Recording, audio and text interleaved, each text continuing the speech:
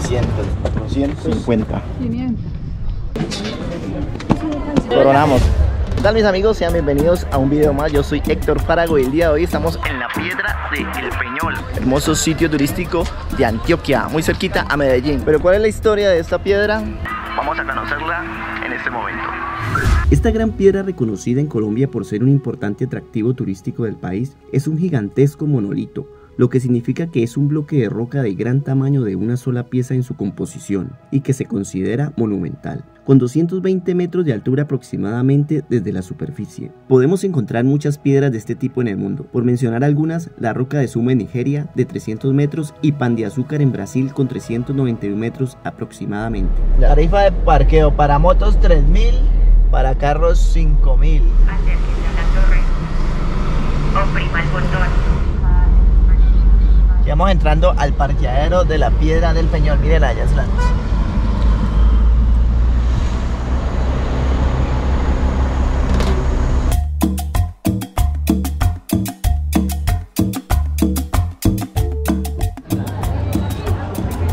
Bueno, para subir a la piedra del Peñol hay que pagar aquí una entrada en este lugar. ¿Cómo? 20 mil cada uno. A 20 mil cada uno. 20 mil. Bienvenido. Gracias. Bueno, toca pagar 20 luquitas y te entregan este etiquete.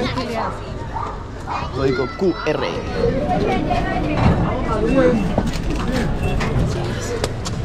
Bueno, aquí comienza uno a subir la piedra del Peñol. Existen muchos mitos y leyendas sobre esta gigantesca piedra. Hay quienes aseguran que la piedra era objeto de adoración por parte de las comunidades prehispánicas, por los distintos hallazgos arqueológicos encontrados en la zona. Otros dicen que la inmensa roca es solo la punta de un meteorito, también que es un volcán que se enfrió hace mucho tiempo, e incluso que es un lugar estratégico para los extraterrestres. También existe una leyenda que cuenta que las grietas que tiene la piedra son productos de un hachazo del diablo con el propósito de tumbarla, porque nunca estuvo de acuerdo con que la piedra fuera visitada. Pero lo cierto es que la piedra del peñón es solo una pequeña parte de una masa rocosa formada en el interior de la corteza terrestre hace millones de años y que sobresale por acción de la erosión y los esfuerzos tectónicos.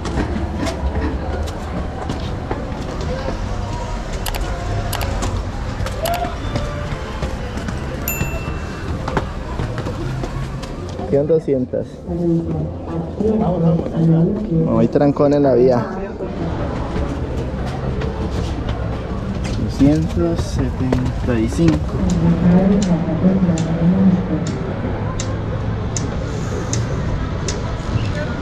Ya casi coronamos.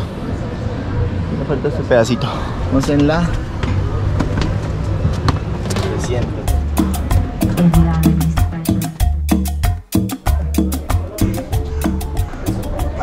Esto escurre como agua aquí.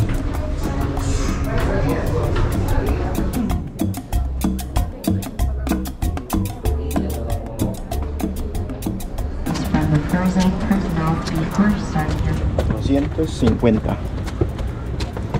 Parada técnica. Cansada.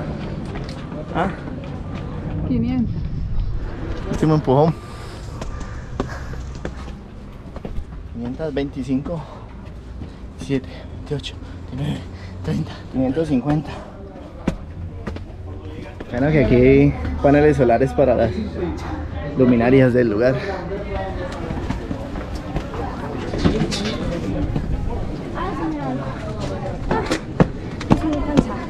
Coronamos, coronamos.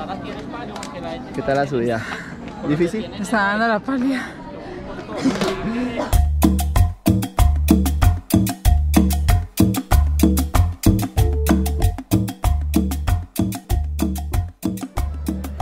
Bueno, aquí podemos ver el peregrinar de la gente subiendo hasta la parte más alta de esta piedra. Hay pues chicos de comida. Y más que todo la gente sube aquí es como para tomarse la fotico y tener un buen recuerdo de haber conocido este hermoso lugar de Antioquia, la Piedra del Peñón, un lugar muy visitado por turistas. Hoy es un día que está muy tranquilito porque generalmente esto mantiene a tope, lleno de gente. Y pues la recompensa es como subir hasta este lugar y ya, porque no hay mucho tampoco que hacer aquí, ¿no? Simplemente disfrutar de las vistas y de pronto tomarse aquí una gaseosita, una agüita. Estarse un ratico aquí parchado y después volver a bajar. En julio de 1954, la piedra fue escalada por primera vez por Luis Villegas, Pedronel Ramírez y Ramón Díaz. Cuenta la historia que el sacerdote del pueblo dijo, me parece extraño que desde el descubrimiento de América no haya aparecido un hombre capaz de escalar la piedra. ¿Será que los hombres de Guatapé son familia de los sapos? Porque el sapo no sube piedras. Esto despertó en don Luis Villegas el deseo de escalarla, un deseo que había cultivado toda su vida. Al día siguiente, don Luis convenció a Pedronel y a Ramón Díaz y salieron en busca de la cumbre de la piedra. Se llevaron una escalera de guadua de 8 metros, martillos y cuerdas, y el fiambre para calmar el hambre. Poco a poco iban incrustando palos a presión entre los lados de la grieta de la piedra. Al finalizar el primer día, solo habían conseguido subir 20 metros. Luego de bajar y descansar toda la noche, al día siguiente recolectaron maderos para continuar su ascenso, con el sueño de alcanzar la cima. Finalmente, el 16 de julio de 1954, tras cinco días de jugarse la vida en un terreno vertical, llegaron al punto más alto de la piedra, izando una camisa en señal de victoria.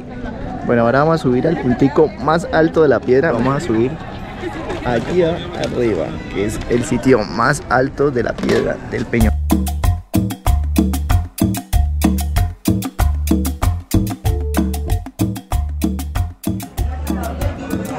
Sigan subiendo. Va a seguir subiendo. Parte más alta de la piedra del Peñón.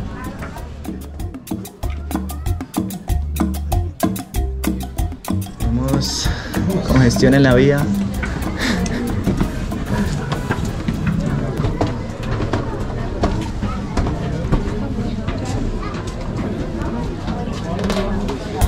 Este es el mirador de la piedra del Peñol.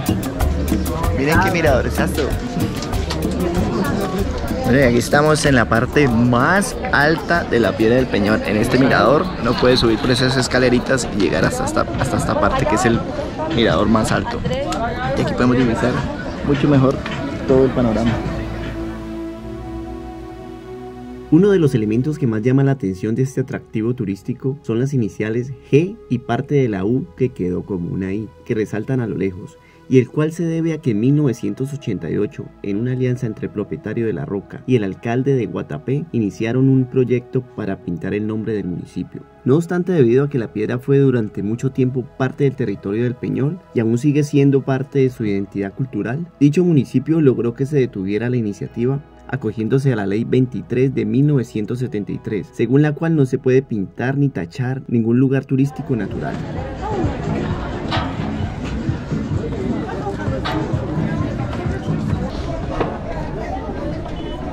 Y aquí vamos descendiendo ya de la piedra del Peñol. Ya conocimos aquí la cima y procedemos a bajar. Yo pienso que es mejor venir en, entre semana porque un fin de semana hay mucha gente, hay mucha gente. Imagínate si entre semana hay bastante gente, ¿cómo será un fin de semana? Lado derecho, por favor, lado derecho. Uy, aquí está peligroso. Aquí podemos ver el agua que escurre por la piedra. Va escurriendo por la piedra y va haciendo estos charquitos aquí. La gente va trapeando con la ropa. Las gradas, las gradas mantienen bien limpias. Bueno, recomendaciones, Luisa. Venir tempranito porque sube mucha gente en la tarde y traer agüita, zapatos cómodos y venir temprano porque si no, muy temprano sube mucha gente. Ay, a mediodía ya está subiendo gente a lo loco. Sara, hay bandeja paisa, tilapia, trucha, punta blanca, churrasco, ¿cómo están? Aquí tenemos en mar, senderos en helicóptero. Ya se veo.